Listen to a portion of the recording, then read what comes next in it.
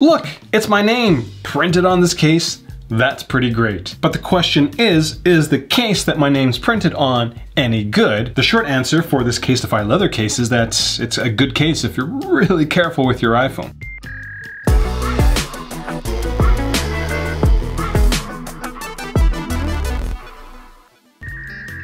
And Mobile Reviews A Monty and I aren't that fancy, but we do appreciate being unique, we'll say, which is why Monty wears ties and I cut my own hair. How do you like my isolation cut? This one was actually pretty easy to do. The next one's gonna be pretty tough, and I made sure that it's YouTube appropriate. The back is just a mess. The Casetify leather case is a tiny case. There isn't really much to it, and it's one of the only cases that I've used out of hundreds that I have that actually has smaller corners than edges. Most of the time corners are bigger, the edges are smaller, but it's the other way around for my name case. For the iPhone 11 Pro Max version, the case only weighs 27 grams, which isn't much, especially when you compare it to something like the Silk Smartish or the Smartish uh, Gripzilla. This thing weighs twice as much as this case, but obviously it's more protective. This case won't slide around on the back or the front. And the texture of this product actually reminds me of the OG SolidSuits, the ones that actually didn't really make into mass production. It has enough texture for me to use my iPhone decently in one hand, but it doesn't really feel sticky like most TPU cases are. Now the case is made from vegan leather or faux leather, so it's really not gonna wear very well when compared to, you know, actual leather. There's no patina that's gonna happen on this product. And when it comes to general wear and tear, dropping this slightly on something that's not completely smooth will leave a noticeable mark.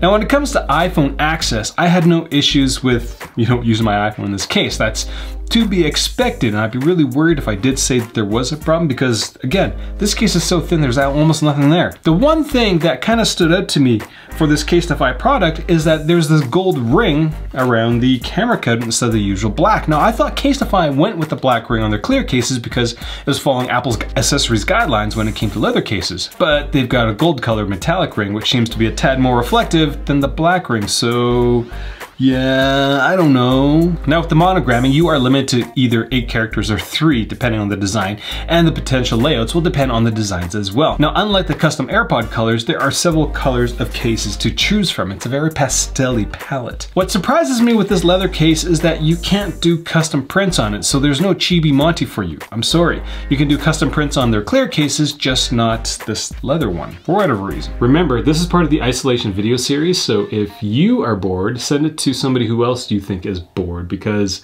one review a day between 12 and noon every single day, that's what I'm doing for the next, until this ends, or until July whichever one's first. Now, when it comes to protection, like the seal case we just reviewed, just don't drop your iPhone in it, in this case, on purpose. I just, I think it's gonna do okay at four feet, but yeah, there's so very little to this case. Yeah, four feet would almost be a stretch, almost. So that's all I got for this video. Again, if you uh, are very careful with your phone, great product. If you're not very careful with your phone, think twice, think thrice before buying it.